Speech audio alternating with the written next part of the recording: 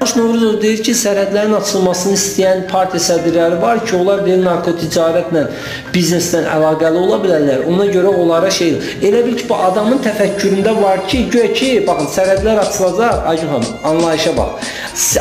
Sərhədlər açılacaq, insanlar gələcək narkotik daşıyacaqlar və gömrükçüyə baxacaq ki, salam Ayşun xanım, nə gətirsən? Heç nə 3 kilo e, heroin gətirmişəm, hə, keç.